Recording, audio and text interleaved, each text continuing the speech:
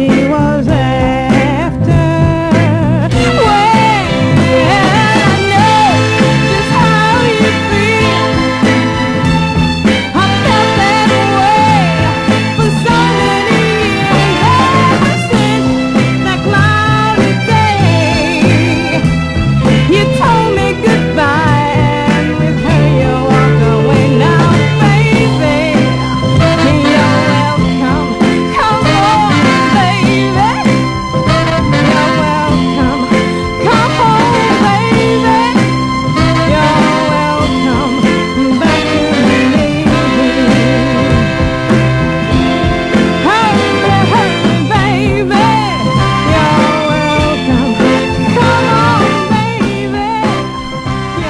Didn't do a lot, did she? Terry Felton, one single uh, released, and that was it. You're Welcome Back came out on Revilot Records, and uh, it's a shame because I like that. It's called You're Welcome Back.